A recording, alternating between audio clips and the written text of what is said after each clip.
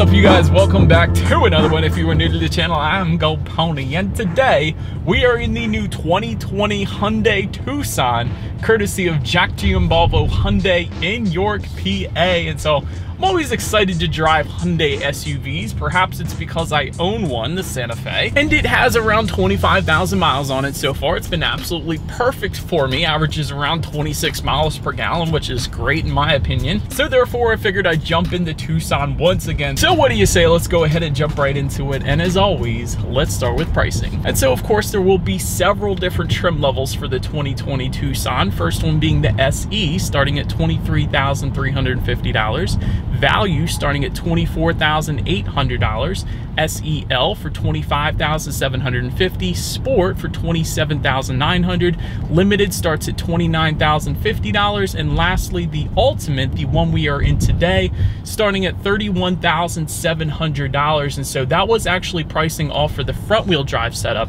If you wanted to go the all wheel drive route, simply add $1,400 to any of those prices, which honestly isn't that bad. Typically, manufacturers will at add $2,000 minimum for an all-wheel drive setup. So that's actually a decent deal. But so next, when it comes to the power plant, there's actually two different engine setups for the Tucson. First one belonging to the SE trim level and value trims. This power plant is going to be a two liter direct injected inline four cylinder, putting out 161 horsepower at 6,200 RPM, 150 pound-feet of torque available at 4,700 RPM, power sent to front wheels or all wheels through a six-speed automatic, giving you Numbers at 23 city, 28 highway for the front wheel drive, 22 city, 25 highway for the all-wheel drive. But then you have the other engine setup belonging to the SEL trim level and up. This one being a 2.4 liter direct injected inline four cylinder, putting out 181 horsepower at 6,000 RPM, 175 pound-feet of torque available at 4,000 RPM. Once again, sent to front wheels or all wheels through a six-speed automatic, giving you MPG numbers at 22 city, 28 highway for the front-wheel drive, 21 city, 26 highway for the all-wheel drive. But so now, before we do any kind of fun accelerations in the Tucson, I did want to mention there are some driving modes for this one. By the way, that driving mode button is located directly behind the shifter, and so I did just put it in sport mode. And by the way, there are a few different drive modes. There's eco, normal, and sport. Essentially, what they are going to do is adjust things like the throttle response, shift points, and actually the steering sensitivity as well. But when I did just put it in sport mode, it did immediately downshift for me. So it is gonna hold the RPMs at a much higher level, giving you more power on demand. But so now since we are actually in that sport driving mode, what do you say? Let's do a quick little acceleration here in our Tucson and let's see how quickly we can get this one here up to speed. And there we go.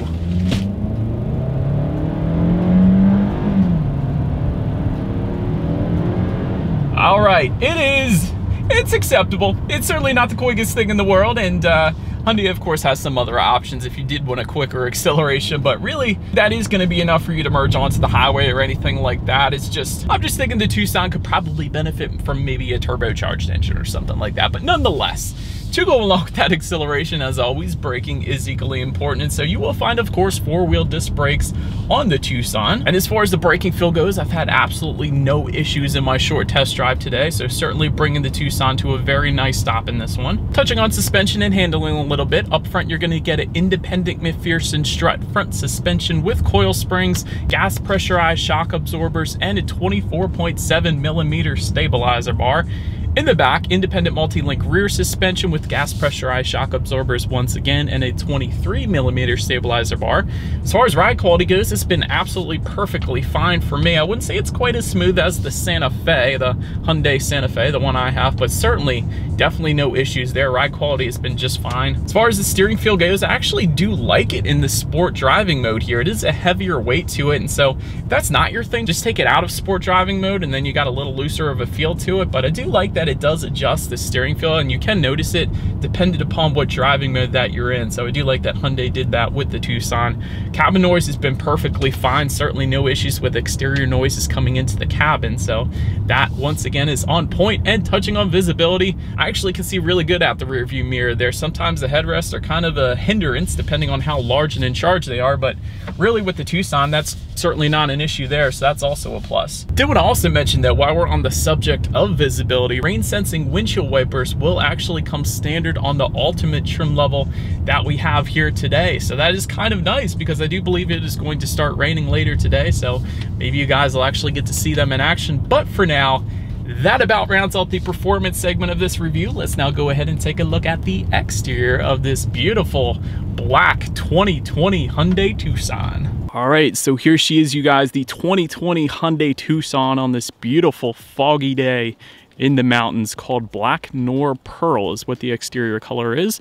We are going to call her Black Pearl, the Black Pearl from Pirates of the Caribbean. But nonetheless, let's go ahead and start up front here. Front grille is actually going to differ amongst the trim levels. Additional chrome accenting you can actually find on the limited and ultimate trim levels. Of course, that's you're seeing that additional chrome accenting with the bars across the middle there, as well as the perimeter of that front grille. So that's going to differentiate itself a little bit. To the sides, projector headlights you can find with the SE value and SEL trim levels. All trims are going to get automatic headlights, meaning when it starts to get dark out at night, they will turn on automatically for you there. So that's always nice. LED accent lighting you can find with the value trim level and up. LED daytime running lights with the sport trim level and up. And actually, with those LED daytime running lights, they do come with LED full lighting as well. So it's going to illuminate your drive a little bit better than those projector headlights, but Fog lights can be found just below if you were to go with that sport trim level and up as well. But now, now go ahead and make our way to the side on this one. Roof rails, black roof rails can be found with the value trim level and up. Chrome beltline molding with the limited and ultimate trim levels. You guys can see that towards the bottom of the windows there, of course. Rear privacy glass is going to come standard for all trim levels. Body colored power adjustable side mirrors will come with all trim levels as well. But if you go with the value trim, those side mirrors will come heated. And if you go with the limited or ultimate, they will come with integrated turn signals as well. So that's definitely nice. Taking a look down at the wheel setup, 17 inch alloys will come with the SE and value trims, 18 inch alloys with the SEL Limited and Ultimate. That, of course, is what you're looking at right now. And if you went with the sport trim level, of course, with it being a little sportier, they are upsized once again to 19 inch alloy wheels there. And so, Ben, now making our way to the back of the Tucson, you guys can see that shark fin antenna found up top there. Just below that, rear spoiler with an integrated brake light, rear window wiper also back there. LED taillights can be had with the sport limited or ultimate trim levels. Of course, that is what you guys are looking at right now. And just below it all, there is a single exhaust setup, no matter which trim that you actually go with. However, it will be tucked away with the 2 liter, and with the 2.4 liter, you're going to find dual chrome tips. So that, of course, is what you guys are looking at right now. So as always, here is that exhaust clip.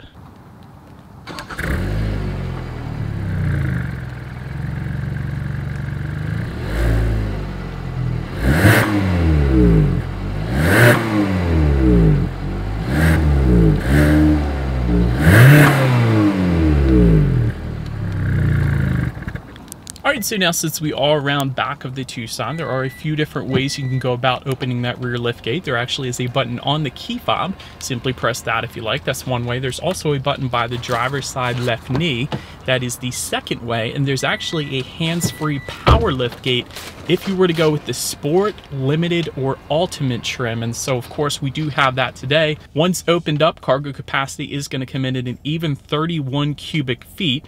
If that was not enough space, of course, the rear seats do fold down, bumping that up to 61.9 cubic feet. And for comparison's sake, the Mazda CX-5 comes in at 59.6 cubic feet. So wanted to mention that because the Tucson is a pretty similar shape to the CX-5. A lot of the dimensions on the interior are going to be pretty much the same. So I did want to mention that. But in-floor storage can be had in that cargo area as well. That's always nice. And there is a 12 volt power outlet back there as well.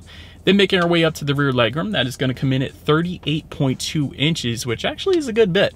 For reference, I'm an even six feet tall. This is how much space I have back there.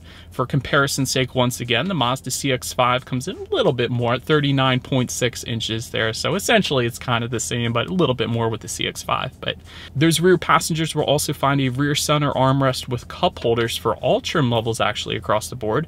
And if you wanted rear ventilation for those rear passengers, you will be able to find that with the SEL trim level and up. And now making our way to the front seats, cloth surfaces will come with the SE, Value, SEL, and Sport trim levels leather surfaces with the limited and ultimate trims. Manually adjustable seats will come with the SE, whereas 8-way power adjustable driver seat will come with the value trim level and up. And by the way, that will come with power lumbar adjustment as well. Value trim and up is also going to give you heated front seats. And if you went with the ultimate, you will also find ventilated front seats. So it's always nice. But taking a look now at the steering wheel, it is tilt and telescoping for all trim levels. It will come leather wrapped for the sport, limited, and ultimate trims and it will come actually heated as well for the super cold days in PA like today if you were to go with the limited or ultimate trim levels. That's how you're going to get that heated steering wheel. But let's now go ahead and make our way to the startup. And let me first start by showing you guys the key here. You do have your Hyundai logo on the one side. And when you flip it around, you have lock, unlock, and getting that button to pop the rear hatch. But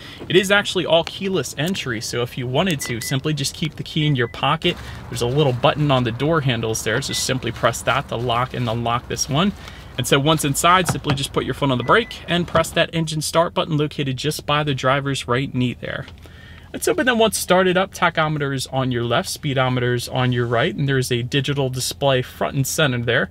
To control what is on that digital display, simply use the steering wheel mounted controls on the right side there, but that's gonna give you a ton of different information, like your tire pressure, for instance, all-wheel drive status. It's gonna be some safety features, trip A, trip B. You can display a digital speedometer up there if you wanted to as well.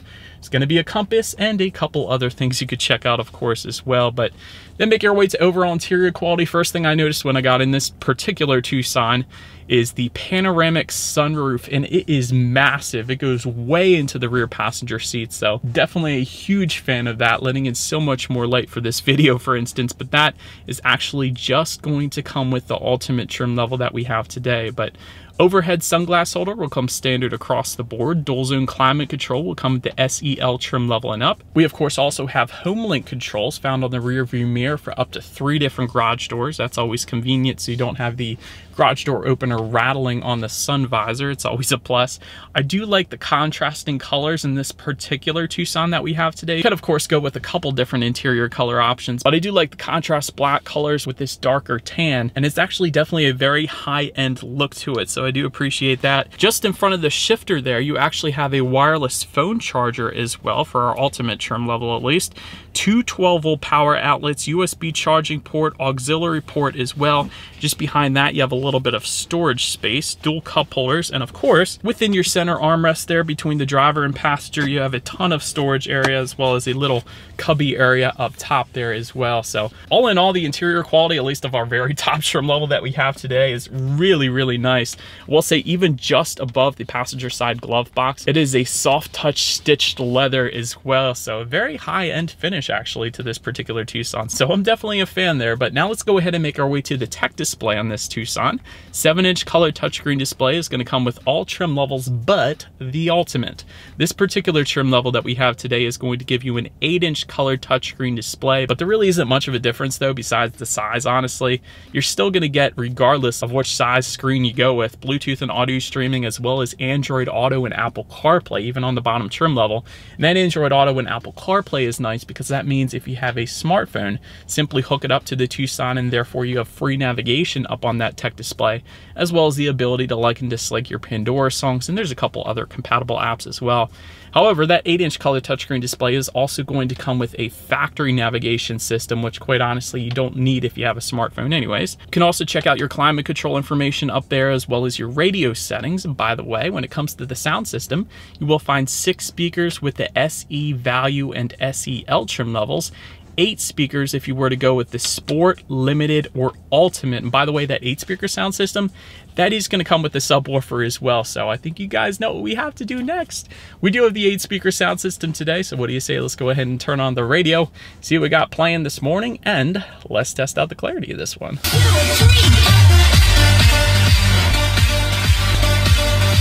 Ton of bass. You can certainly tell there's a subwoofer in this thing, but clarity is actually on point as well. And really there's speakers everywhere in this thing. Eight speakers is a definitely a decent amount. So sound system is definitely on point, at least if you were to go with one of those three trim levels, sport, limited, or ultimate. So I can vouch for that one.